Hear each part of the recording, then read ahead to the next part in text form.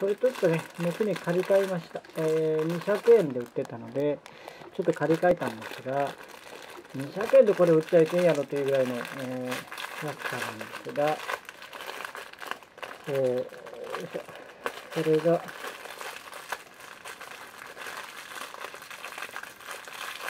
この車です。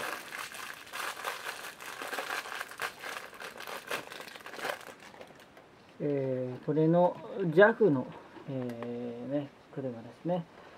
サービスカーってやつです。JAF のサービスカーのトヨタのプロボックス。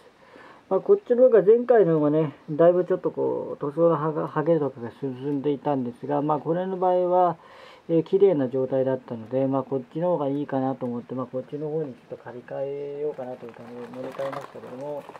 まあ、なかなか、えー、これもこれとして、まあ、魅力があってね、あのだいぶいいかなと思うような、えー、車に仕上がっていて、まあ、こういったところなんかも非常にこう好きなね、まあ、タイプの、えー、車になっていて、えー、こういうのもやはり魅力のうちの一台だなといったものをまあ感じる、接してくれる車ですね。はい。というわけでどうもありがとうございました。